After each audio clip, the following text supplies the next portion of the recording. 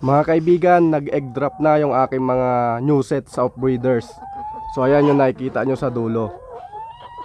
So paano ba mapaitlog ang mga hens natin sa edad na 5 months o bago sila mag 6 months? So para malaman nyo yung kasagutan mga kaibigan, tapusin nyo itong video para ma-share ko sa inyo yung aking mga ginagawa.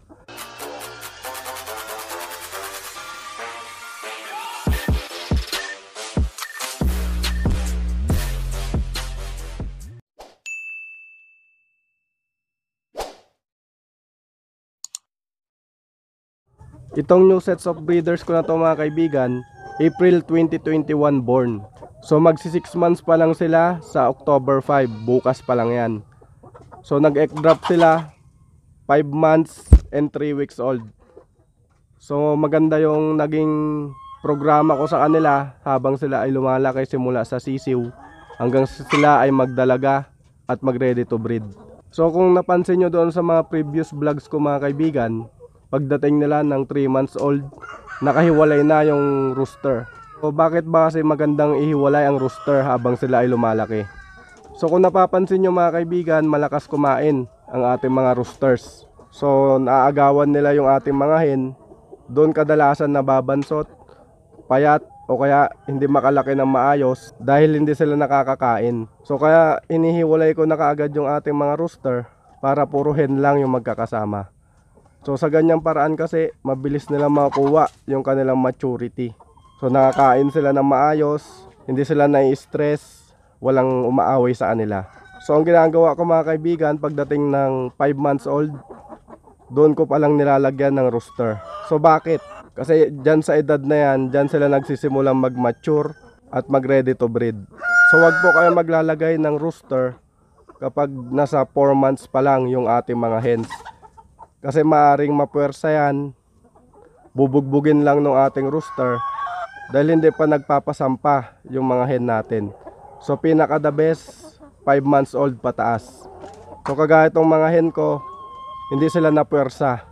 So kusa silang nagpaasawa sa ating rooster, kaya mabilis din yung kanilang naging pag-itlog. So simula sisiw hanggang sa ganyang edad, kumpleto sila sa vitamins, sa magandang feeding, tapos sa vaccination. Ang vaccine nila simula nung sisiw, B1B1, Gumburo, Lasota, Paulpax, Coryza, at Foul Cholera. So yun yung mga bakuna nila mga kaibigan. Pagdating naman sa feeding, yung day old to 1 month nila, Integra 1000.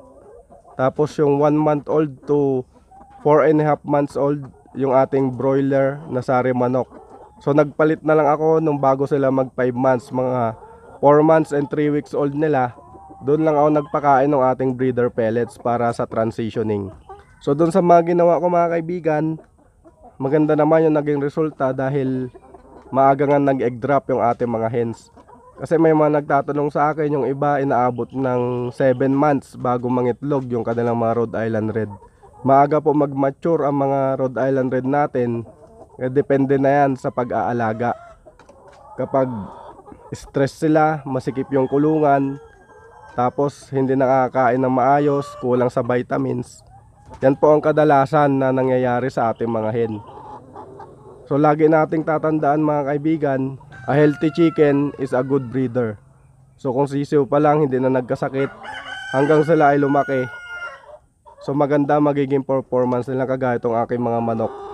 So kitang kita nyo naman sa itsura, makintab ang balahibo, malapad ang katawan, mapupula ang muka.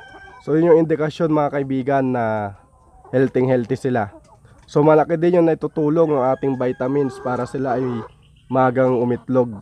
Yung ating egg 1000 at yung ating probiotics, Vitamin Pro. So yun yung mga ginagamit ko sa kanila ngayon. Tapos binibigyan ko din sila ng porridge, yung ating Madre de Agua, yung ating mulberry, malunggay. So yun yung mga binibigay kong dahon-dahon.